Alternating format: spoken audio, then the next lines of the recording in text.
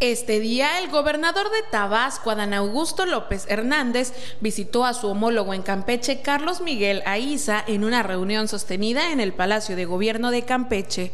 Según lo informado por López Hernández a través de sus redes sociales, en dicha reunión se abordaron las estrategias regionales que se llevarán a cabo entre Tabasco y el estado vecino referente a seguridad. Por su parte, el gobernador de Campeche, Carlos Aiza, asentó a través de sus cuentas virtuales verificadas que en dicha reunión también intercambiaron información sobre salud pública.